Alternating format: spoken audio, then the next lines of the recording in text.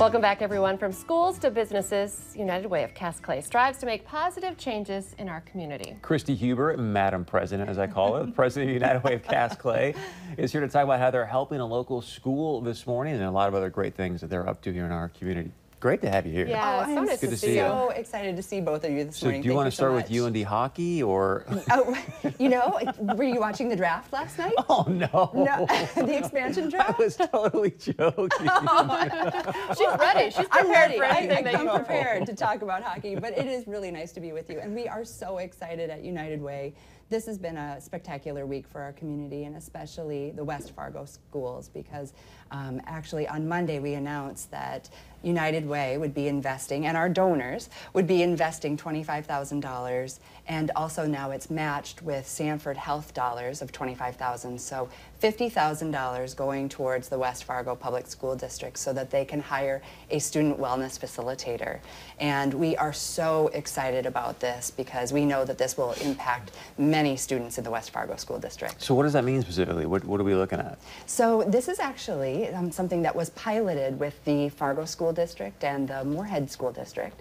And what it is is a student wellness facilitator actually works directly with the students. And so it's um, someone who's professionally trained, maybe even a social worker, that actually will meet students at their point of need. So if we have students that are um, facing depression, if they are facing suicide, if maybe they have things that are going on at home that they just really need some extra help to work through, this student wellness facilitator is there to actually be that intervention and get them the assistance that they need. And so the, the program actually is through Imagine Thriving, and Abby Tao is the executive director. She does a fantastic job.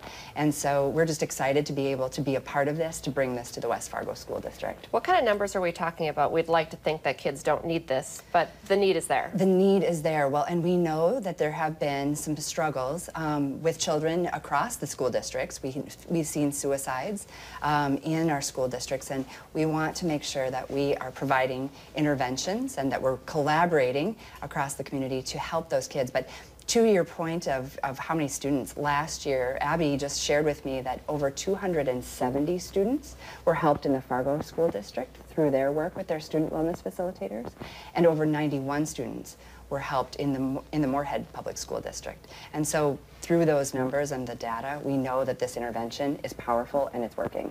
That was my next question. So, what, what- what's the data showing? So, you work with these 270 students, and your outcomes are what?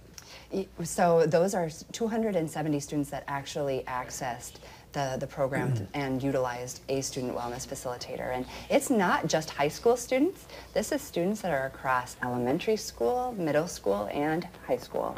And so again, it's again being smart about how do we help kids at their point of need. And the sooner that we can find those interventions, the sooner that we can um, be able to get them the help that they need. These student wellness facilitators are amazing. Um, they not only help students in the school and during school hours, but they're also available to the students outside of school and outside of school normal days as well. Um, sometimes what they do is they will actually take students to appointments, and so they'll be able to make sure that whatever those interventions are um, that need to happen, they make those possible. And Imagine Thriving is doing a wonderful job with this program. Easy mission to support. When we come back, we're going to talk about something people can do today to help out and also have a great lunch, too.